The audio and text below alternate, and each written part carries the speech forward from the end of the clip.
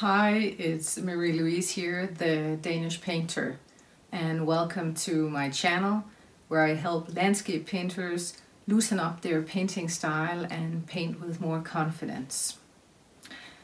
In today's video I have something special for you. I wanted to uh, show you my process when I do my preliminary sketches and, uh, and work for larger paintings. So I thought what better way than to show you from beginning to end everything in real time along with my commentary and my thoughts for the process uh, as it's unfolding. So um, I hope this will be useful to you. If the video gets very long, I might have to do part one and part two, but uh, we'll see for now, let's uh, jump straight into the video and uh, get started. Looking at the reference sketch, um, this is just a photo I took a few weeks ago. I uh, was driving along and I pulled over and I just snapped this photo out of the side of the window of the car. Um, in itself, the photo doesn't have all the elements I would like to see in, um, in a great painting. But uh, the elements I do like are um, the sky to ground ratio. I also, um, in particular, like the shape of the um, the farmer took his uh, his tractor. I think these are tractor tracks. Um, it's kind of a rounded, curved um, motion or shape uh, at the bottom of the painting. And I, I don't, for some reason, I really like this shape and I want to include it in my painting. So that's what speaks to me the strongest when I'm looking at this uh, at this photo. The sky was incredibly blue. You can see it almost looks uh, unnatural. So I might want to tone that down. Also the cloud, uh, the big cloud uh, in the upper left and middle. Uh, it looks very round uh, and circular and uh, also a bit unnatural. So I think I, I would want to change the shape of that one also. Furthermore, I think I would like a uh, focal point somewhere on the horizon. So I will um, probably enlarge. Uh, you can see there's some trees on the horizon line um, and some windmills, I think they are. but I am, I'm definitely, I'm going to enlarge some of the trees, uh, maybe make a uh, grouping of trees that are going to be a bit uh, larger and that's going to be my focal point.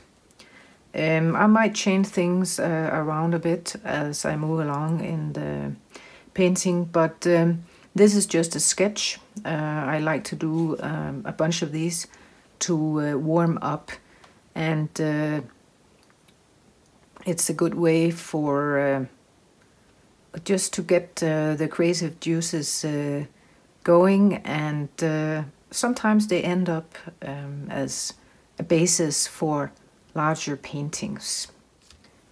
The ground uh, part is about one third of the photo and I, I, like that ratio so I'm going to keep that. Also kind of curved so that it's, it's lower on the side. So I'll keep that. This is just very loosely drawn. Um, and I have these kind of low lying clouds here in the distance.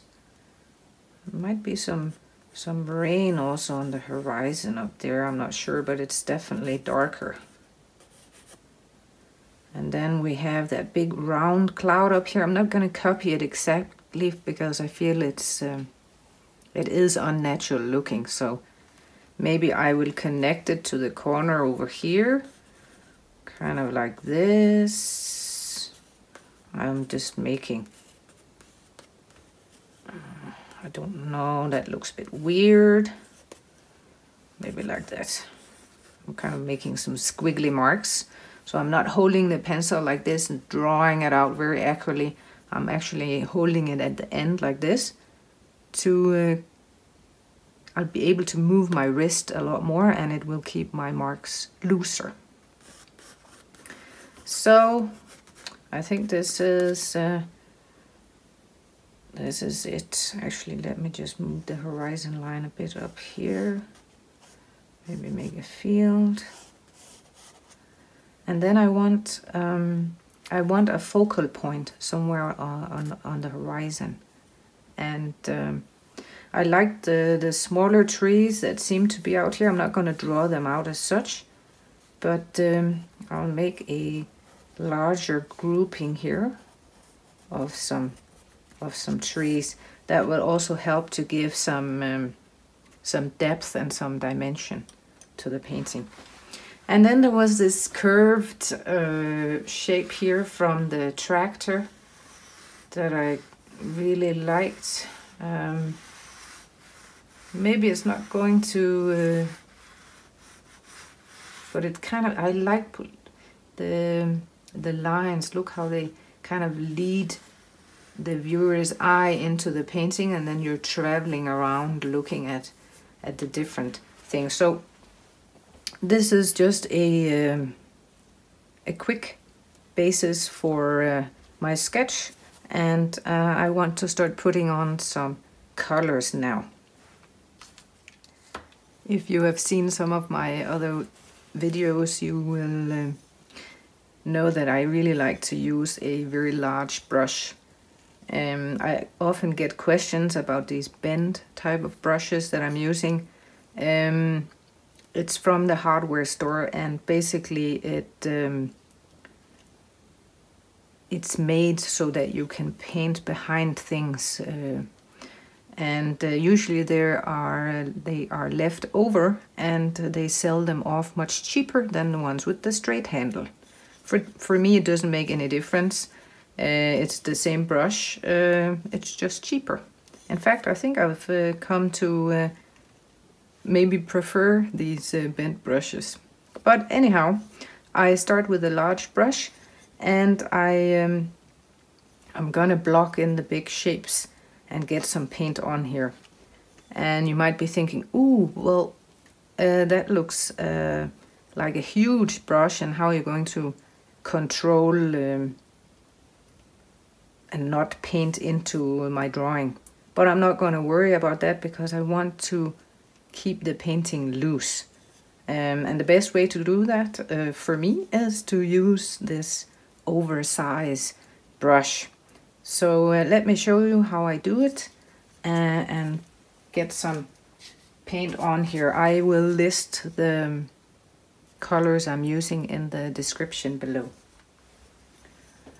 I'm going to start with a thin wash of some burnt sienna here just to give the the overall painting a nice warm feeling. It would also help to unify the colors in the end.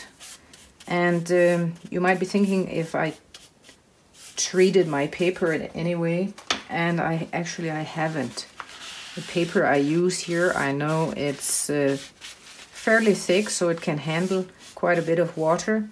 But uh, if you don't have paper that's uh, can handle a lot of paper or a lot of water, then uh, it's a good idea to gesso your paper before this step. Anyway, I'm uh, I kind of have this warm base layer now and uh, I'm going to start um, by adding some colors to the sky. I do feel that that blue sky is just a wee bit too blue, so I will tone it down a little bit.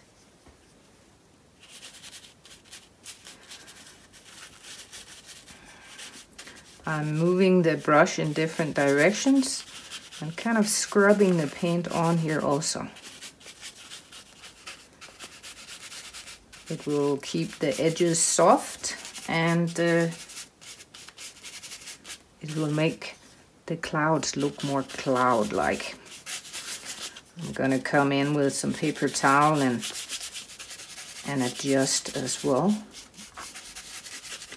I like a lot of thin layers. So this is not going to be the final layer. So don't worry if it's not covering covering it, it all. So I'm just gonna rub a bit with some paper towel. It's a bit moist, my paper towel, so and then while the, the paint is still wet I can kind of smear it in. I'm gonna drag the paint down onto the horizon line here.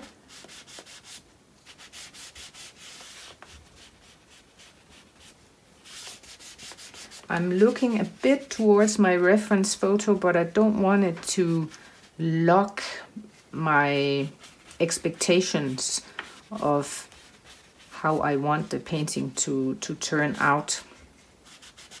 It's a reference only. Now see what look what happened. This cloud up here, it kind of turned out to be uh, round again because I was looking at the reference photo and not really thinking. So let me just adjust that. I didn't clean my brush in between here, so I'm just gonna... The cloud also has kind of a some shadow on this side. So let's get that in here.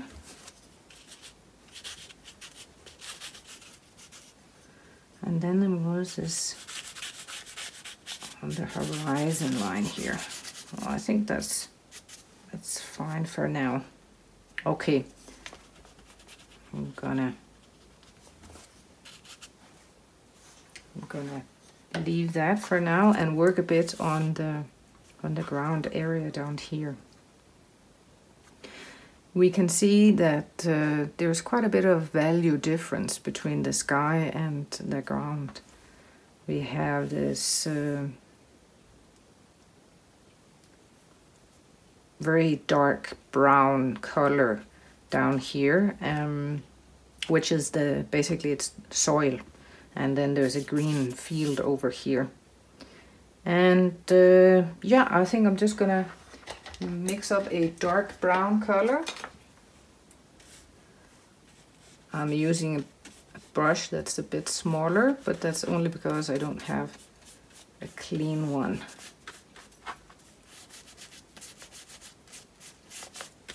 So, okay, that was a bit, be a bit more generous with the paint here.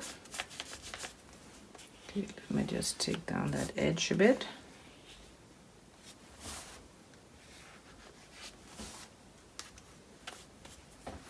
And I'm gonna use the other end of my brush to just scrape into the paint, making those marks from the yeah, I don't know what they are. Tire tracks from a tractor or something. Okay. Don't want to keep going too much, too long. Come in and adjust it later. And let's see that green field over there. Okay. Here we go.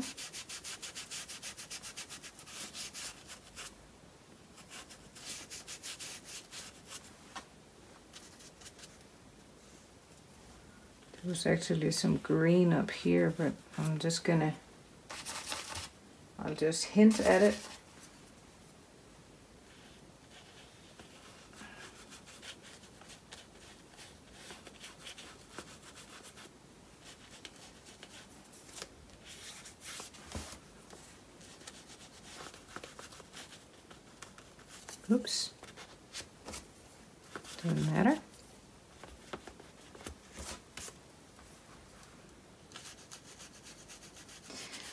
I'm going to um, finish the sky before I uh, add in the details here on the horizon line.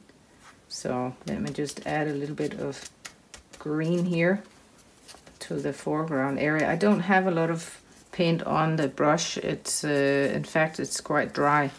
And uh, sometimes I like to separate the bristles like this to uh, be able to kind of make some expressive marks that looks a bit like foreground grasses and, and such. Okay, I want to make sure the sky area is uh, dry before I continue. We'll take a look at that in part two of this painting series. So see you in the next episode and thank you for watching.